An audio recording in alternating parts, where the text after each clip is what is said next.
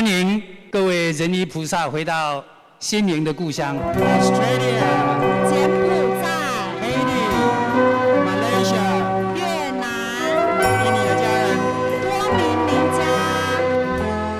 一年一度的中秋夜宴，每年这个时刻是全球人医呢都迎来起回花莲来啦，共度中秋节，很温馨。这都是一个大家庭，爱的能量、凝聚的方向，都是很共同，彼此回来，彼此分享。这一回，我们的人医会啊，二十一个国家的人医菩萨归来。啊，人医会啊，人医会呢，我真的是很感恩呐、不管来自哪一个国家，都是呢，都是在实际的这种的精神理念落实当地的，在为苦难人做义诊。是回来的就可以呢分享，也可以听听呢其他国家在做的方式，都是很温馨。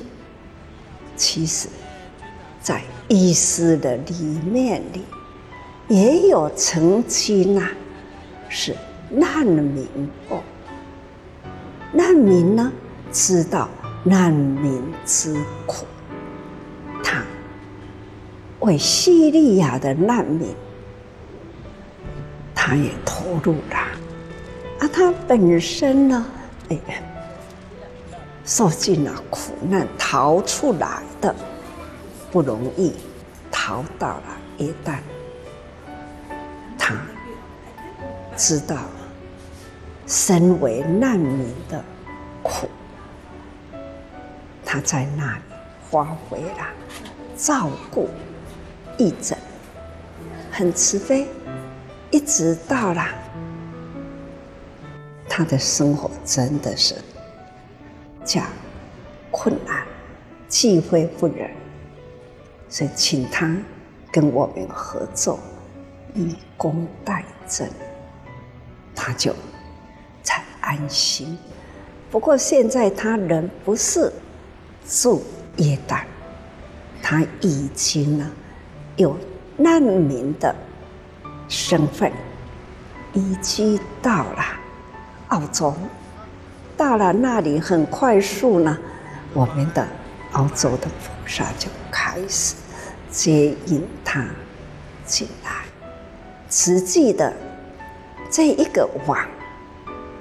那就实在是彼此相应，很彼此之间可以机会联络啊，让他到来，又有人关心他，就开始有人接引、关心、安住他的心，安住他的生活，他还是呢可以。继续做慈济志工，这一回又回来了。uh, earn more knowledge uh, about um, uh, the activity, especially uh, because uh, one of the Atsuji principles is to protect uh, our uh, earth and our uh, environment.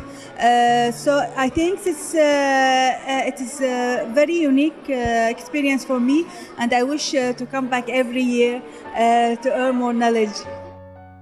还有这一回，我们的自公菩萨、仁医菩萨，要仁医会之前， 从墨西哥义诊回来，顺便呢来分享墨西哥的所见闻。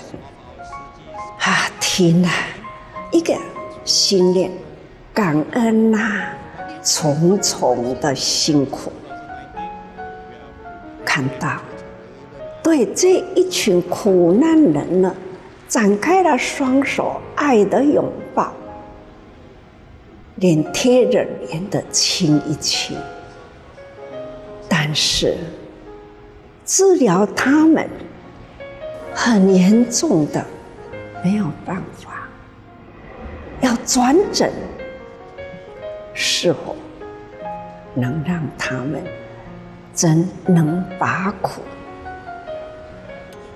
这种众生之苦很多。慈济人回来啦，当地开始下雨啦，现在也是水灾。这个水灾呀、可不小。